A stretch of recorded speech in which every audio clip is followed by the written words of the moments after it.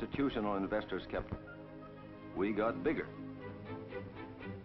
And busier and busier.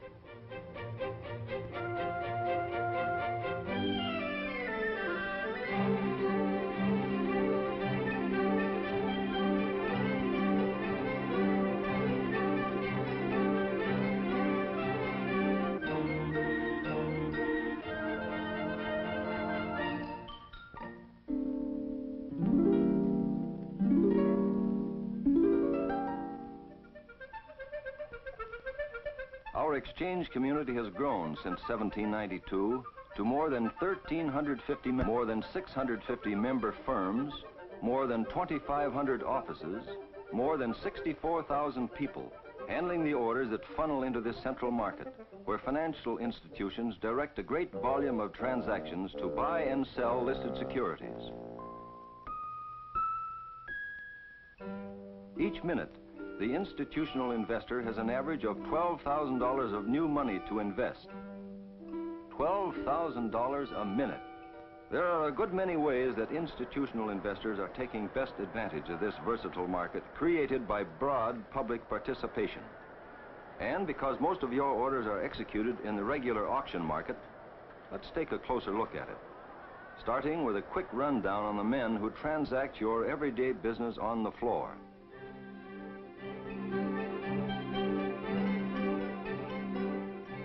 Member floor brokers, for instance, who are usually partners in the member firms, trading for you at the post where the stock you want to buy or sell is assigned. Two or more brokers trading in an issue we call a crowd.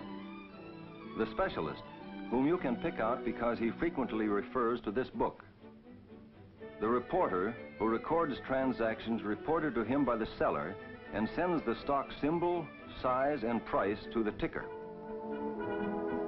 governors and floor officials who oversee all trading activity. The specialist clerk and the broker's clerk whose telephone links the floor through the order room to the man you know best, your own broker. Because you and he are both professionals, your member broker can help you make the best use of the market in carrying out your investment decisions. Suppose you had an order of moderate size. It could be handled all at once or in a flow-in, flow-out series of transactions. The auction market is the place for it. Here's what would happen. Your order is relayed to the clerk on the floor, who calls for the firm's floor broker by flashing his number. The broker goes to his clerk and picks up the order.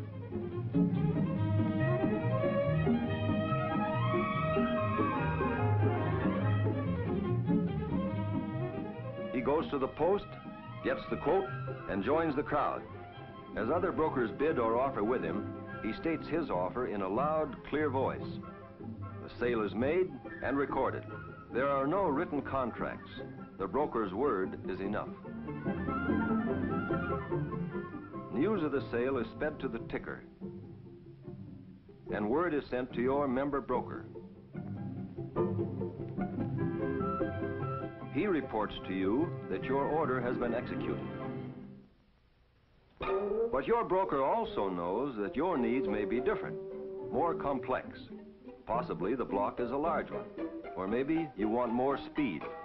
Your firm's floor broker may decide to enlist the specialist.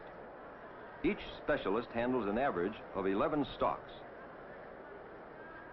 With market activity constantly flowing around him, the specialist performs the first of his two important functions, acting as a broker's broker.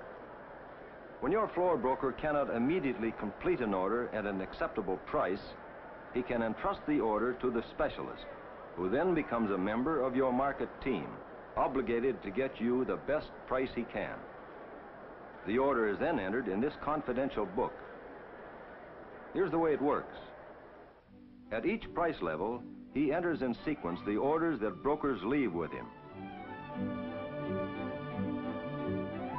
When this order is finally executed, the specialist will cancel the entry and notify the broker. The specialist's work, his records, and his books are continually checked by the exchange. Because he knows his issues, because he knows the market, the specialist is able to perform his second job, helping to keep that market fair and orderly. Though stock prices rise or fall because of supply or demand, it is the specialist's function to keep the spread between bids and offers and price variations between sales as narrow as circumstances will permit. As a result, he's usually buying for his own account when the market is falling or selling when the market is rising. But he may buy or sell only when there is no public order on his book at that price. But this flexible market is also designed to accommodate the marketing of large blocks. In weighing your joint decision, your broker may know that there is more stock available than the quoted market shows because he is in such constant touch with the activity on the floor. But beyond this, he can also help institutional investors buy or sell with seven special block procedures. The specialist block purchase or sale are procedures you and your broker might be able to use. In the specialist block purchase, the floor broker is responsible for executing your order. Though he transacts it on the exchange floor, it is not a part of the regular auction market. Your broker offers your block to the specialist, who consults his book and makes a net price bid somewhat away from the current auction market. Here, as in all special procedures, exchange approval must be obtained before the transaction can be completed. This can usually be done very quickly.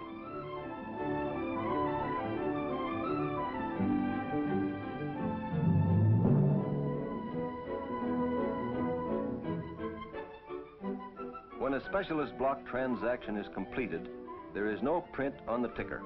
Your broker earns a single commission. The exchange, distribution, or acquisition are other procedures you might use.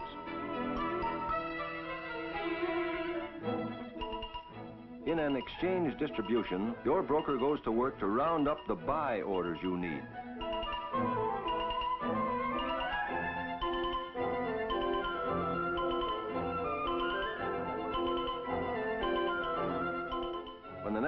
Total has been accumulated, the orders are then crossed in the auction market. The seller pays all brokerage costs. There has been no advance publicity, but after the cross is made, word of the exchange distribution is carried on the ticker. You might decide on the special offering or bid.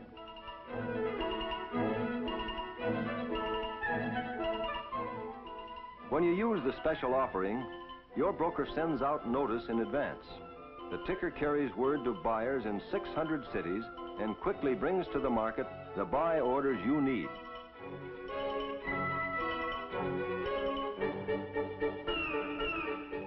The buyer gets his stock at net price.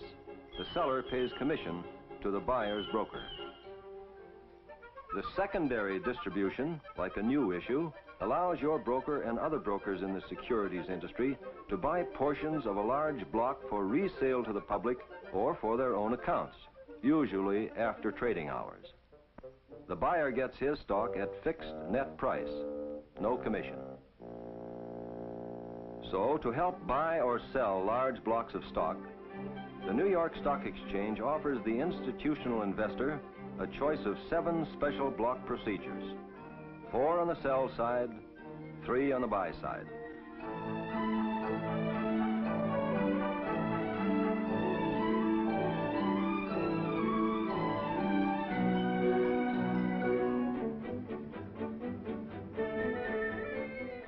Seven special procedures supplementing the flexible central auction market. And when you use the regular auction market, there is no need to split up your block you may designate one broker to execute your entire order, but you may still direct him to share the commission with other member firms.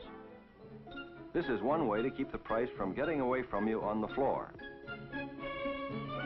However, let's assume you insist upon dividing your block among three brokers. You give this broker the first part of your order to sell. There's a down tick. After the execution is reported to you, you give the second part of the block to another broker. Another down tick. And the third part to still another broker.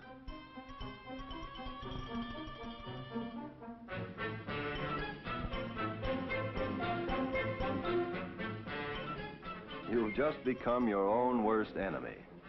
One broker, completely in your confidence, knowing exactly what you wanted, could have been much more efficient. But the real test of a market's efficiency is not how it operates when things are going well, but how it functions when something unexpected happens.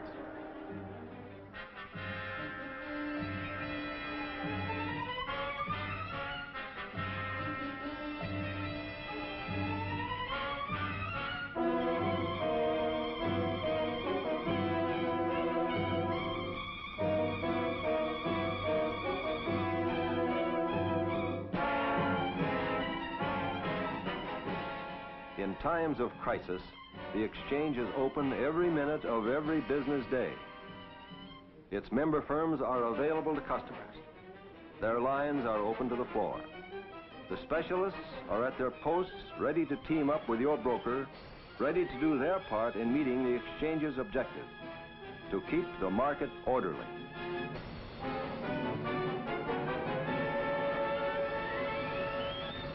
The emergency passes.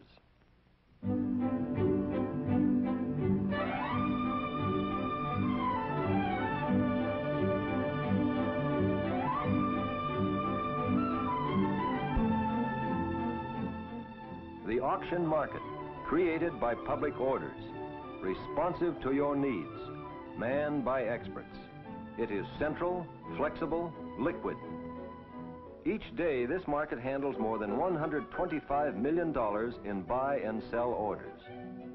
Its special procedures, its experienced market teams, provide you with all the techniques, all the services to carry out your investment decisions.